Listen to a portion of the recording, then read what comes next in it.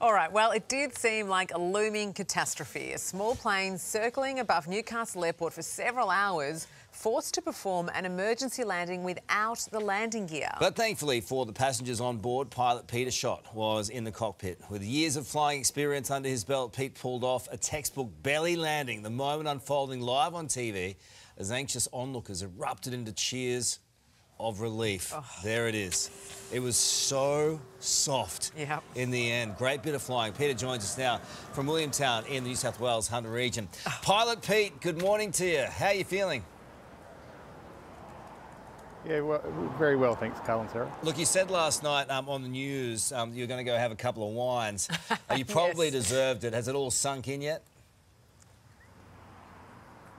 Um, Oh, look, I, I, think you guys are over, overselling it. Oh, um, oh, come on. I enjoyed a couple of red wines last, last night, and that's uh, that was good, you know. Yeah. But I mean, Pete, if you go back to that moment when you realised something wasn't quite right, what was going through your mind? Um, uh,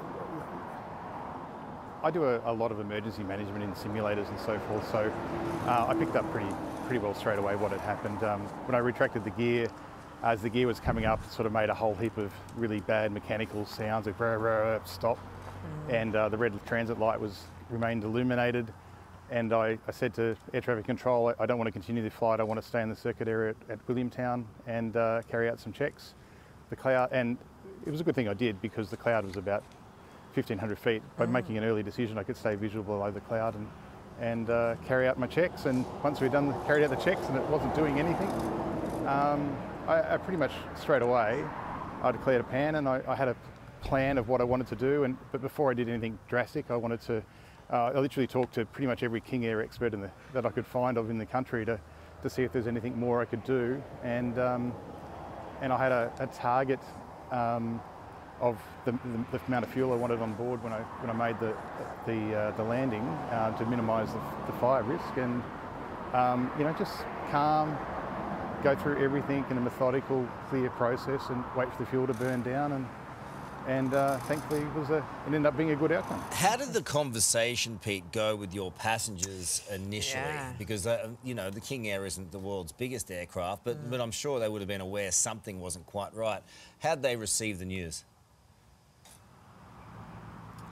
Um, look, pretty well. They, they, handled things really well. Unfortunately, um, uh, the gentleman, uh, it was his birthday, uh, 60th hmm. birthday. Um, he was getting he was getting motion sickness, and we were under a layer of clouds. So there's quite a few bumps, and uh, I think people could see from the trace there's quite a few uh, laps in the circuit area. Mm. And uh, unfortunately, after a while, he, he was getting a bit sick and, and throwing up. So oh. I, I, felt really bad for for him. Um, and then there's a methodical process to go through. There's an engineering process to go through. There's a uh, obviously a fuel burn process. Um, I had a target in my mind. You know, I didn't want to land with any more than 600 pounds on board because um, that's the minimum risk. And and so things happened.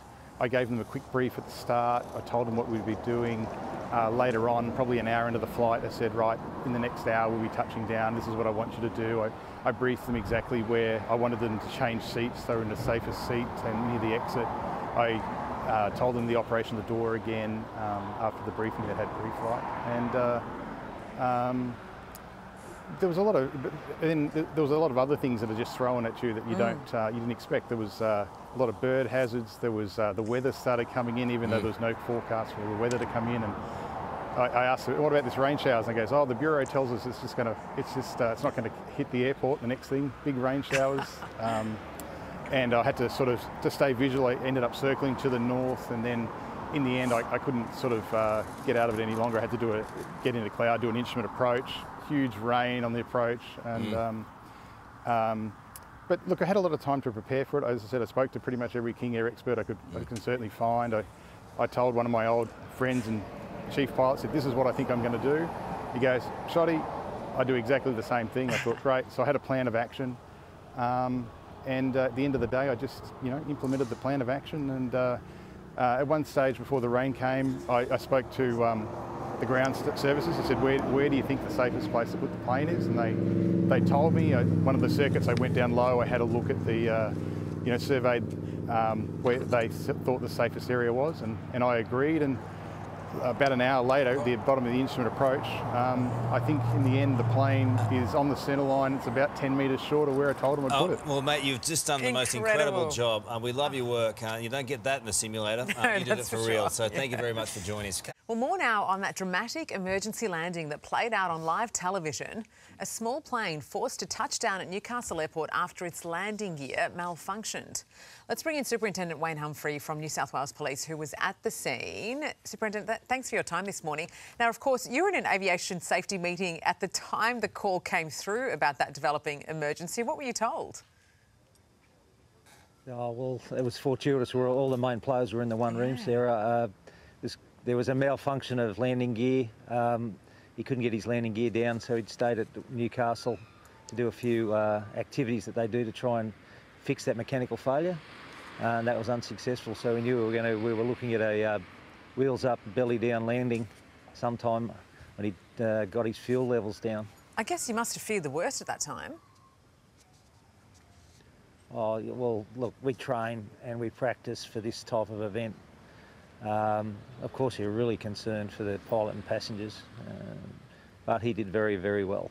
Yeah, absolutely. I mean, this is a pilot who said he was flying before he was driving. How did he sound over the radio at the time? Pretty calm, we've heard.